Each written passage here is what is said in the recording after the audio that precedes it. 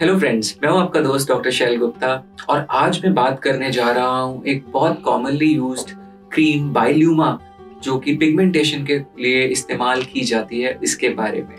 तो पिगमेंटेशन एक बहुत कॉमन प्रॉब्लम है और जिसके लिए बहुत सारे लोग तरह तरह की दवाइयाँ यूज़ करते हैं। बहुत सारे लोग इन दवाइयों को अपने आप से भी यूज़ करते हैं केमिस्ट के बताने पे यूज़ करते हैं, कोई फ्रेंड के बताने पे यूज़ करते हैं। ज़रूरी नहीं है कि हर व्यक्ति डॉक्टर के पास जाके ही इस दवा को यूज़ करे। तो यदि आप भी ऐसा कुछ कर रहे हैं तो इस वीडियो को ज़रूर एंड तक देखिए।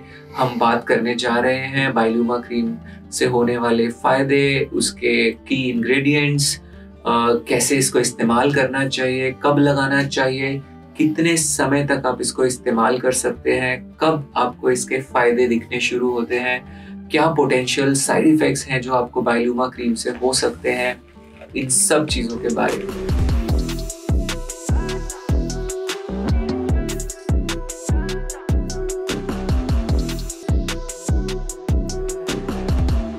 पिगमेंटेशन एक बहुत कॉमन समस्या है और सेल्फ uh, मेडिकेशन जैसे मैंने बोला कि uh, सही नहीं रहता। मैं अपने इस चैनल पर बहुत सारे स्किन केयर के वीडियोस बनाता रहता हूँ। तो यदि आपने हमारा चैनल अभी तक सब्सक्राइब नहीं किया है तो प्लीज़ इसे अभी सब्सक्राइब करें और बेल आइकन दबाना बिल्कुल मत भूलिएगा। तो बाइलूमा क्रीम एक पिगमेंटेशन के लिए यूज़ किए जाने वाला क्रीम है, जो कि आपके स्किन पर आप जब लगाते हैं तो वो पिगमेंटेशन को थोड़े से उसके इंग्रेडिएंट्स लाइट कर देते हैं। तो ये जो पिगमेंटेशन होता है, ये मिलानिन पिगमेंट होता है जो हमारे स्किन पर पाया जाता है। क्या इंडिकेशंस हैं बाइल्यूमा क्रीम के? बाइल्यूमा क्रीम आप पीआईएच में यूज़ कर सकते हैं, यानी कि पोस्ट इन्फ्लेमेटरी हाइपर पिगमेंटेशन जब किसी भी वजह से जैसे चोट लगा और उसका काला निशान बन गया या मुहासा निकले और उसके बाद काला निशान बन गया तो वो काला निशान या कोई आपको दाना किसी और किस्म का कोई प्रॉब्लम हुआ कोई और स्किन डिज़ीज़ हुआ एक्जिमा या कुछ ऐसा उसके बाद काला हो गया स्किन तो आप इसको यूज़ कर सकते हैं। ये सेफ़ है। हालाँकि बार बार मैं यही बोलूँगा कि जब भी आप आ, को कोई प्रॉब्लम है आप हमेशा डर्मेटोलॉजिस्ट को कंसल्ट करें सेल्फ यूजेज दवाई का ना करें। बट इन चीज़ों में सेफ़ रहता है।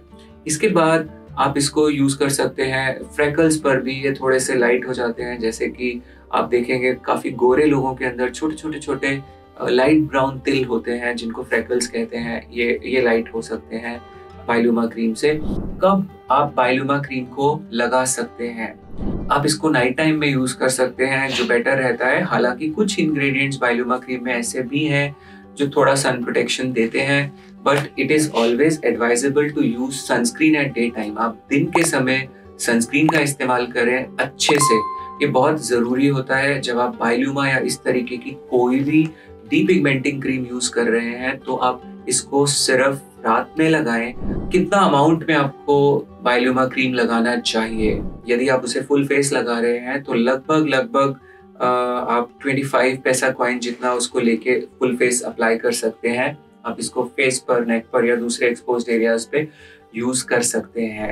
एक छोटी सी सलाह, जब भी आप ये क्रीम यूज़ करना शुरू करें बायोलूमा क्रीम को तो या कोई भी और डीपिगमेंटिंग क्रीम या इस तरीके की कोई एंटी एजिंग क्रीम या तो आप उसको थोड़ा सा टेस्ट करें। यहाँ पर कान के पीछे इस जगह आप थोड़ा सा लगा के देख सकते हैं। अगर आपकी स्किन उसे टॉलरेट करती है तो फिर आप उसको फुल फेस अप्लाई कर सकते हैं। कुछ इंग्रेडिएंट्स ऐसे हैं जिनसे आपको एलर्जी हो सकती है इचिंग हो सकती है।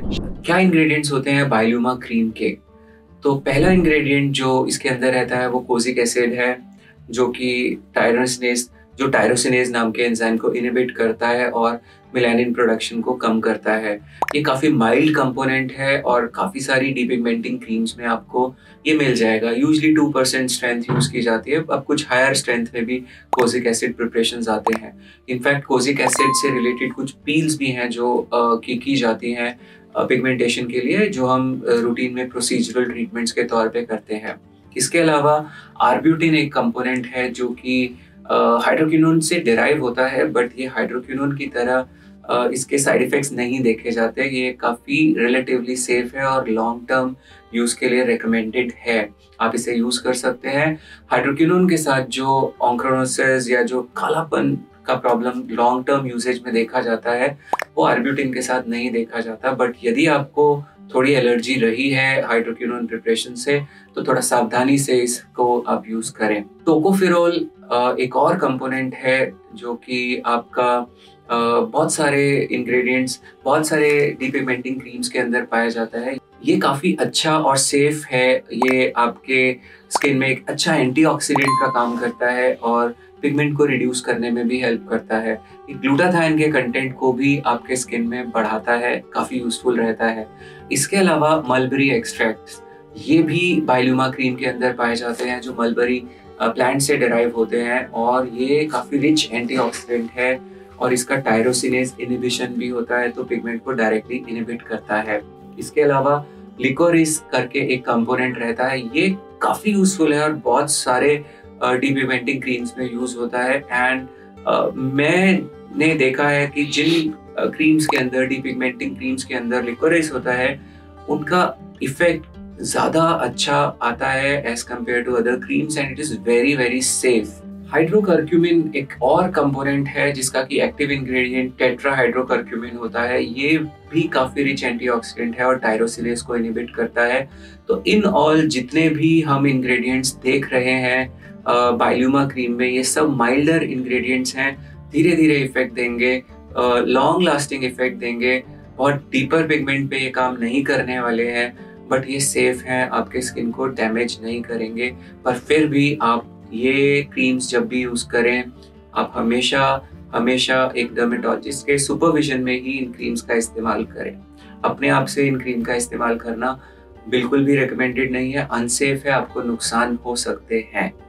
और इसके संबंधित कोई भी और जानकारी यदि आप चाहते हैं तो कमेंट सेक्शन में पूछ सकते हैं, आप दिए गए नंबर्स पे भी हमें कांटेक्ट कर सकते हैं।